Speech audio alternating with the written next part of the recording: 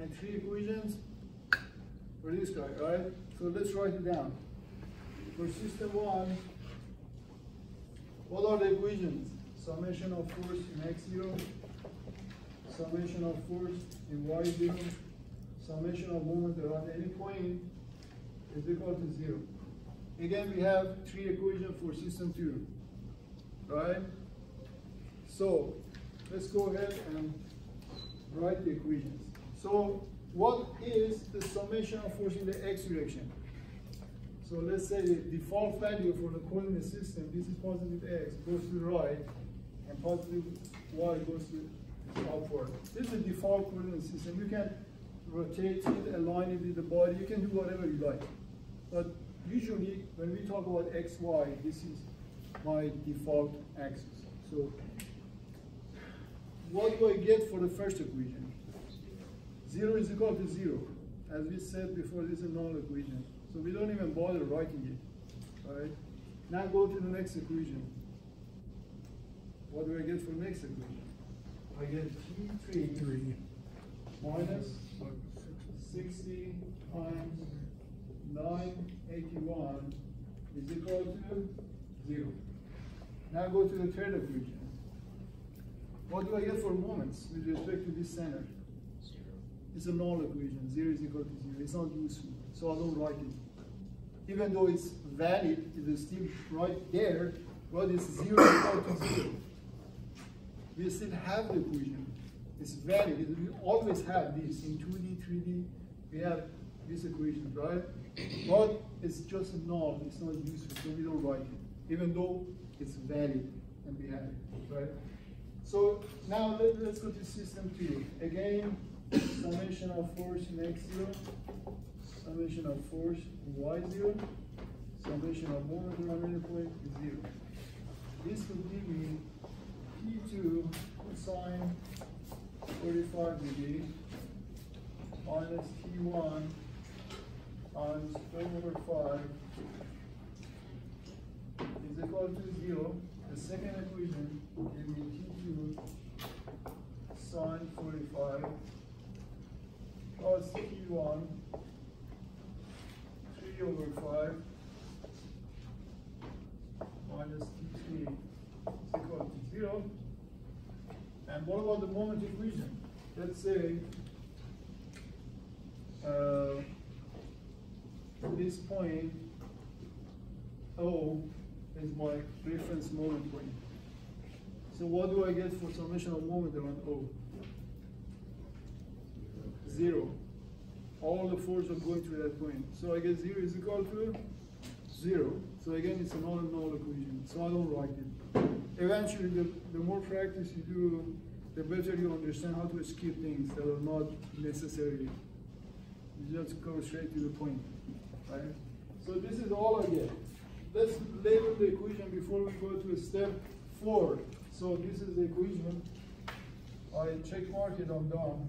I wrote all possible equations. And now I'm ready to go to step four. But before that, let's label this. Let's say this is one, two, three. Right, now let's go to step four. Solve the equation. So which one should I start with? One. Equation number one. It's one equation, one unknown. Right? Can I just start with this guy? No. It is one equation and then you have one, two, three unknowns. What about this guy? No. One equation, two unknown. So, so solve this equation. You get T3 is equal to six times nine eighty, sixty times nine eighty-one. Sixty times nine point eighty-one. Five, eight, eight, point six newtons. Right, So that's what you get. Now, what, what is my next equation? Well, if you go to two, right, is, is exactly the same than if you go to three. Now here is the thing. I have some students that they stop here.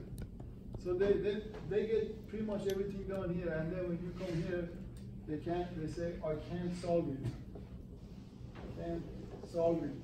Because what they're expecting is, like the example we introduced in the previous class, that you always get equation like that, just so simple to solve. So they're trying to get something for T2, and then solve for T2, and another thing for T3, or T1, right? But look, both of this equation, they are coupled, these are called coupled. They both have T1 and T2. Even, even though we got T3 here, but still look, we have one, two unknown. In this equation, one, two unknown in this equation. So we have a lot of students that they say, I can't solve it. And then I ask them, well, how come that, that is possible? Have you ever solved things like this before in high school? Like x minus y is 1, 2x plus y is 0. Have you ever solved things like that and say, yeah, this is so easy. Get y in terms of x and just plug it here, and then you get x, and then you get y. That thing is called Gaussian elimination, that process. And then I said, well, what if x is t2 and y is t1? That's really why they say, oh yeah, I'm so sorry, I'm sorry. I thought this is something new in vector statics. No, this is the, exactly the same thing. It's called system of simultaneous equations. So guys, I don't want any student to stop at this point. Don't, either don't write it, or if you come here, I really expect you guys to go ahead and solve it. If you stop here, that, that means something is terribly wrong, all right? So now let's do it. Let's say I want to find T3 first. I want to find T3 first. So what, I'm, what I need to do, sorry, I, I want to find T1 first. This is my first unknown that I want to find. You can either find T2 first or T1 first, right? So here in this case, I say, well, let's solve this guy, equation 2, and get T2 in terms of T1, and then put it here, and we already have T3, so we can get T1, right? So let's do that. So from this equation, T2 is, T2, let's write here, T2 is equal to 4 over 5 T1 over cosine 45 degree. 4 over 5 T1 cosine 45 degree. So this is T2 from this equation 2. Now put in equation 3.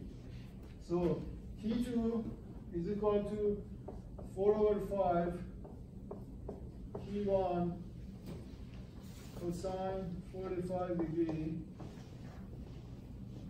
times this is T2 times sine 45 plus T1 times 3 over 5. This thing is equal to, take T3 to the right, right hand side. And what was the value of T3? 5, 89. Right? Four significant digits. So 588.6. Now, can I solve for T1? Yes, the answer is yes. Take out T1, factor it out. So if you take it out, you get one T1 from here, one T1 from here, T1 times this factor is 588.6. So T1 is equal to So look, here sine 45 is equal to cosine 45. So they cancel out, right? 5 over 4 plus 3 over 5, uh, sorry, 5 over 5, uh, 4 over 5 plus 3 over 5.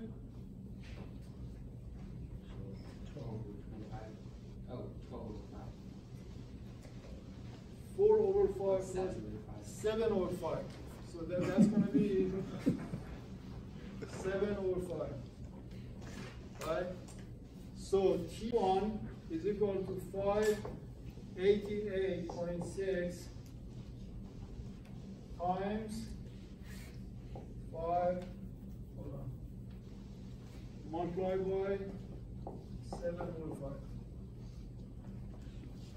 No, that, that, that's the right. So basically what you do, T1 is equal to 7 over 5, 5, 8, 8, 9, 6. So that's your T1. Then if, if you go, if you want to get T2, you just put it here. You get T2, right? And you already have T3. So your system is solved. Yeah. Would you not divide the seven over five out and that would be five over seven on the other side? So look, this one, they cancel out, right? So this goes with this. So you have four plus three is seven over five, right? So if you divide this by seven over five, that means you multiply by five over seven. Yeah, you, you multiply by five over seven. That's right. When you divide this by seven over five, then this goes to all top, and then 5 over 7, Thank you. 5 over 7 multiplied by uh, 588.6. So when you get T1, the numerical value you just put it here, you get T2, and so on. You get whatever value you replace, you get all of them. So now let's go to another example, example number 4, 5.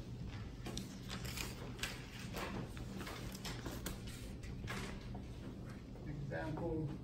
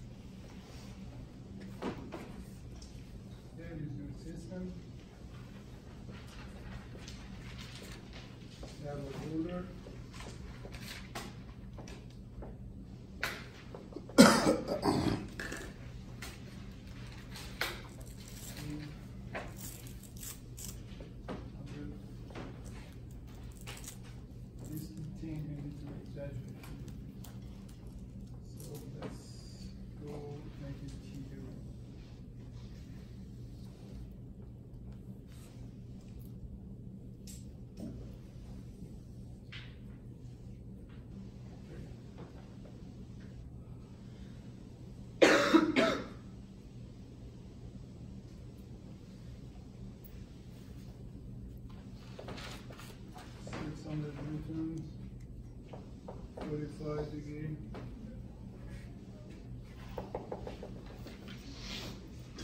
This distance is zero point two.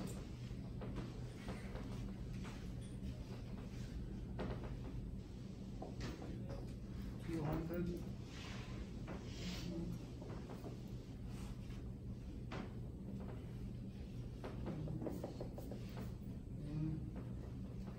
The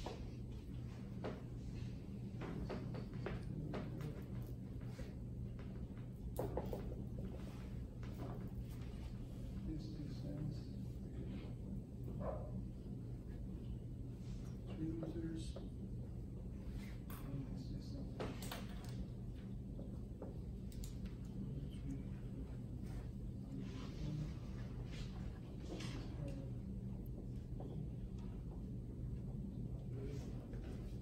Six hundred five. This one is eight. All right. Now, the question is find the reactions at point A and B. Are external reactions. So we have a, we have a, we have a beam. This area, green area. And this area is pinned at point B. So you can move the beam, you just can't rotate it, right? Frictionless. And then you put it on a slider or roller that you can easily slide in the x direction, but you can move it in the y. You can move it upward, but not, not down, right? So a- asking is to find the external reaction if you have this loading. See, you have one, two, three external load. Then what would be the reaction at point B or A?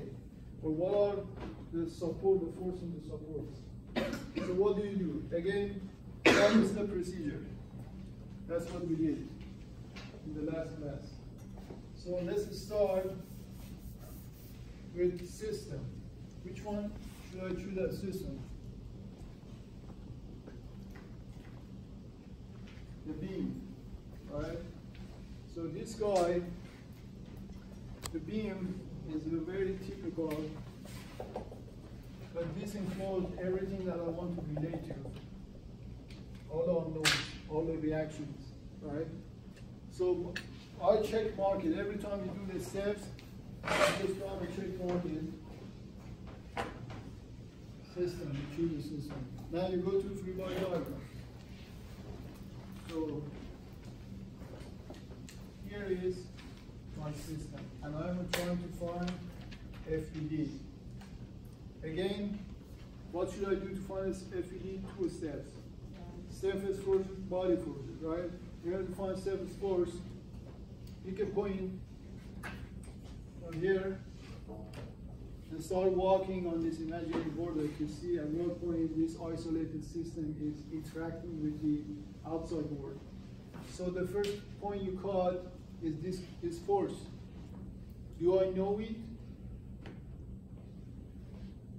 Yes. Yes, so just put it here. Don't introduce unknown because you already know it, right? Here you go, 600 Newton, and the angle is also given. Continue walking. The next thing you caught, 200 Newton. Just put it here because you know it. Right? The next thing you caught is the pin.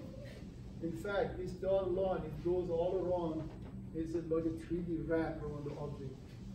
It's go all around this pin and it's separating, separating it from this connection. So how many force and moment do I have at B? Two. Two. One force in the x direction.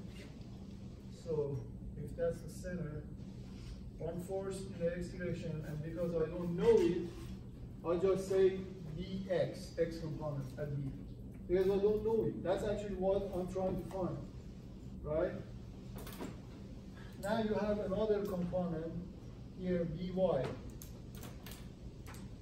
Y component at B, and I don't know it. Do I have a moment at B? No. Because what? Because you can easily rotate this beam around B. There is no friction, no external moment that can counter your effort, your torque.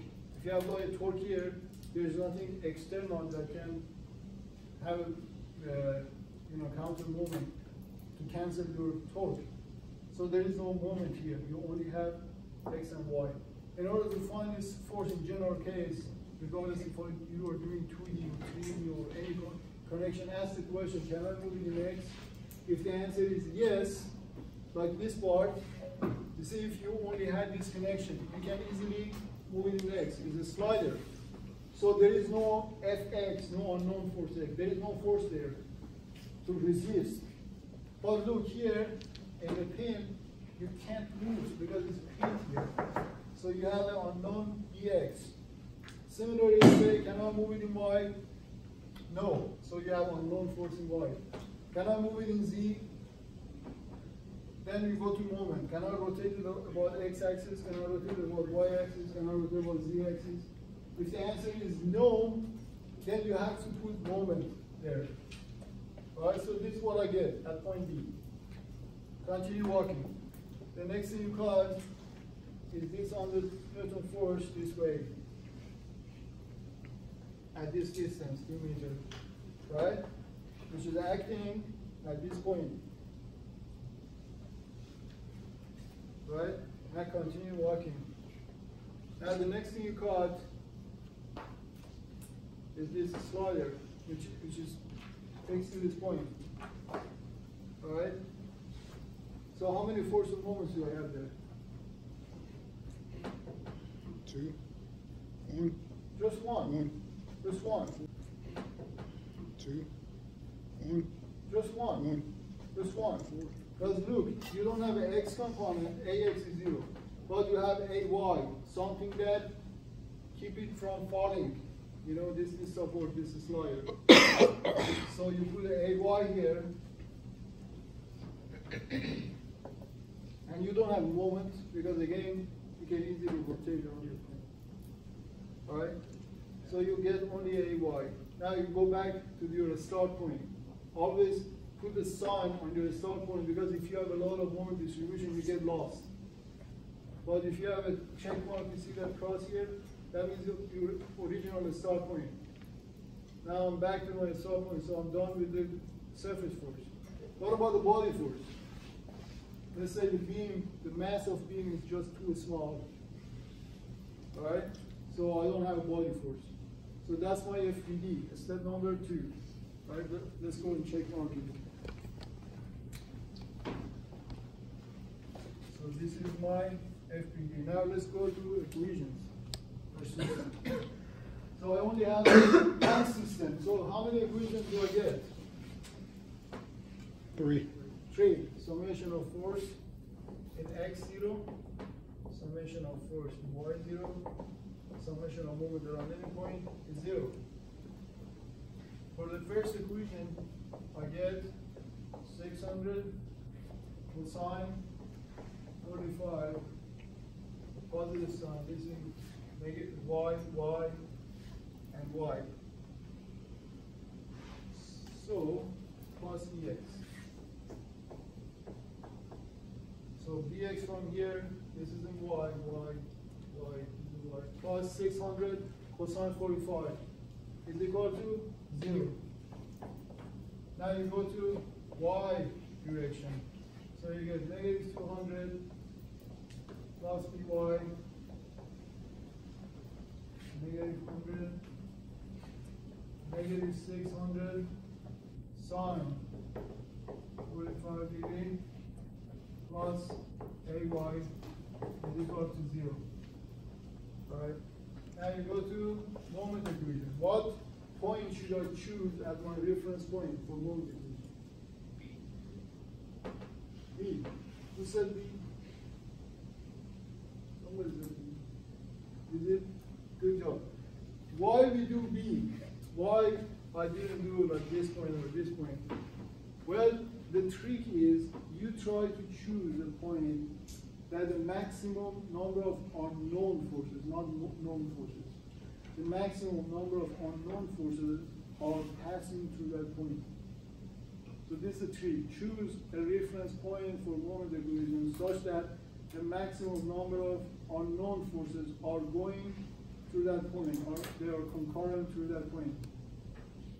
So why we do that? Because if all unknown forces, not all, but maximum number of, let's say this F1, F2, and this is F3, and some other forces, they are all going through this point, right?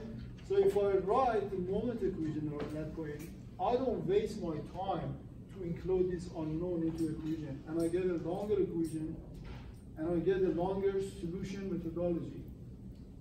So I only get the one that are not, that are known, or probably maximum one unknown. So I can just get one beautiful, one equation, one unknown, and then I can solve it in one shot. And no matter how complicated the system, is, usually there is a way to choose a point that most of the forces are going through that point. So you get a nice, beautiful, a small single equation, single unknown, and you can solve for that. Right? So, point B is the point that you can see there are two unknowns going through point B. Point A, only I have one unknown. I could use this as a reference point for my moment equation, but I prefer to use this because this gives me more simplification, right? So sum of moment on point B should be zero.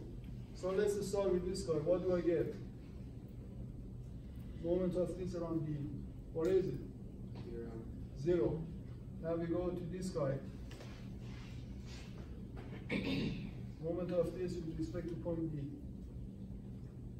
Zero. This guy. Zero. What about this guy? Then you have three steps. Break it down, move it, get the moment arm and compute. Right? So it's already decomposed. It's in the Y. So the next step, move it. Move it up. Right? So if you move it here, what's your moment arm? Point two. Two. Two. So moment arm two times, value of force, 100. Positive or negative? Positive. Right? See that? Now go to the next one. What about this guy? Now blue is on right. What about the moment of this force, 600? What should I do? I want to calculate the moment of 600 with respect to point B. What should I do? Break it up. break it up, move, find the momentum. So if I break it up, this is going to be six hundred sine forty-five this way, and this component, x component is going to be six hundred cosine forty-five. Alright? Instead to move it. Where should I move this guy? Down, right here. So what's the moment arm? From here to here is normal. Five. Five times. Five times Six hundred. Six hundred sign forty, yeah. six hundred sine. Forty-five. Positive or negative? Positive. Positive. Now, let's go to this guy. Where should I move it? Over. Right here. So what's your moment arm? Point two. Point two, this distance, you see that? Mm. Point two times Six hundred cosine forty-five. positive or negative? Negative. Thank you. Alright, now let's go to this guy. This is already perpendicular to this position vector. So the moment arm is Uh, seven. seven times A Y. AY. Positive or negative? Negative.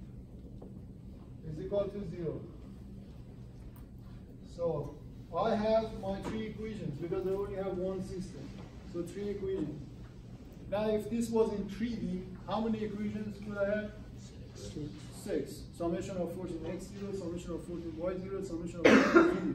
And then you go to moment. Summation of moment about axis x zero, summation of moment of axis y zero, summation of moment of axis z zero. Here we only have one axis z that goes through point B. That's the reason I only have one moment equation. In fact, the other moment equation are still valid. They still have the six equation, but they are zero is equal to zero. Zero is equal to they are null. So we just pick the three one, three possible equations, right? Now, let's go and solve it. Now we got the equation, let's go back and check mark. This is the most important part, being organized and trying to do it in a systematic way. I'm not interested in the final numerical answer, that doesn't matter at all to me. I'm trying in your thought process. So put the check mark here. Now, I want to do solve. So which one should I start with? First. Yeah, either, let's say this is one, two, three, right? I can either do equation number three or equation number one. As you can see, I cannot start with equation number two. Why? Because it has two unknowns, ay, by, and it's only one equation. So somehow I should either get by or ay and put it here and solve for the other one. But this guy is only one equation, one unknown. So if you solve this, you get bx, which is negative 600 cosine 44, 5. Now, if you solve ay, what do you get? ay, what do you get? The reaction here. So let's say when I start giving you this problem in the test or quiz or exam, whatever, if I ask you, find, find the reaction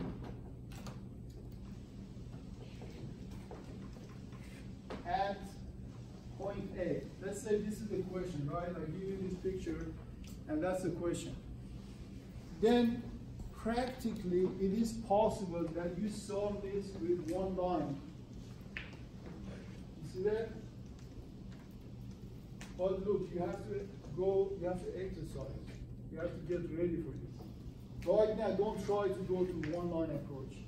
Try to go in all five steps and makes your it makes your brain to be, uh, you know, uh, organized.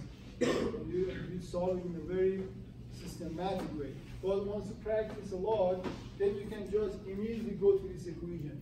Without drawing free body diagram, without drawing, without writing all these two equations. In fact, you don't need to write all these equations. You don't need to base it on. You can just start from here. Because if you choose this point here as your reference point, you know that all the unknown here goes away. And you have only one unknown. One known integration, one unknown, then you can just start from here. In fact, in the first section, I had one student, I put like a midterm paper, and I had one student, he came in, and he got his mate midterm grade weight. He started writing this.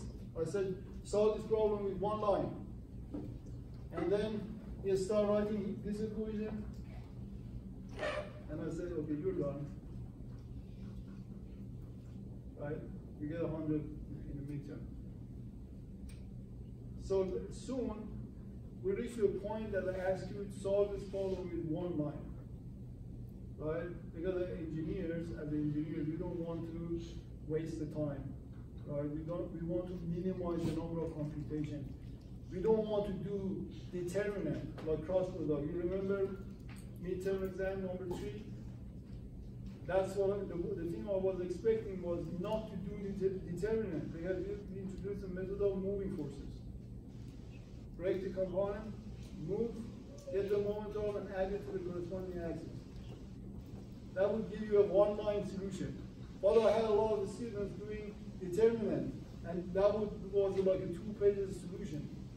And it was most of them, I would say the determinant like was like 95% wrong, the student. I only had like two, one, one or two students who got the determinant right in the entire three section class. So that, that's what I'm saying. You will reach to this point that you just solve it in one line, but not right now. Right now, let's just be very fundamentalist. Practice in a very organized way. Five step. Always do the five step. Always write it down. Always check mark it. Always go through drawing free body diagram. I want to see your free body diagram. When you solve a problem here, right now, I want to see you find a free body diagram. In the homeworks, like if you have problem with solving something, I want to see your free body diagram. So that's it for today.